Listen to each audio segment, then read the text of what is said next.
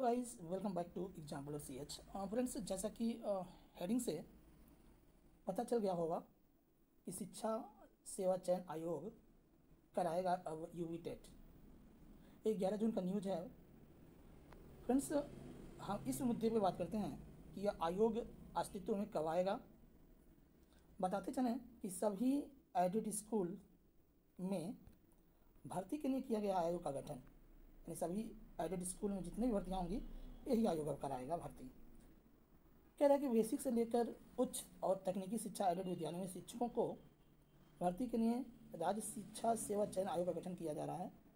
अब यही आयोग उत्तर प्रदेश शिक्षक पात्रता परीक्षा भी कराएगा। इसके अलावा प्रदेश भर में नवोदय के तर्ज पर शुरू किए गए अटल आवासीय विद्यालय शिक्षक भर्ती भी इसी आयोग से होगी। इसका जो ड्राफ्ट है, वो पिछले हफ़्ते सदस्यों की बैठक में शामिल कर दिया गया है।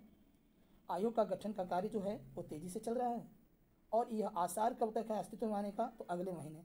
अर्थात फ्रेंड्स, जून का महीना चल रहा है। जुलाई तक सबसे इंपॉर्टेंट जो चीज़ है ना, वो जुलाई तक हमारा जो आयोग है, वो अस्तित्व में आ जाएगा। और उसके बाद जो चार पाँच महीने हैं हमारे लिए, वो बहुत ही निर्णायक साबित होंगे हमारे लिए। ठीक है? तो इस बात को ध्यान रखिएगा फ्रेंड्स।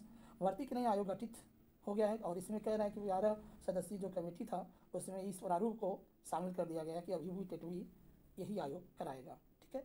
तो ठीक है, हम लोग इंतज़ार कर रहे हैं इस आयोग का अस्तित्व में आने का। ठीक है?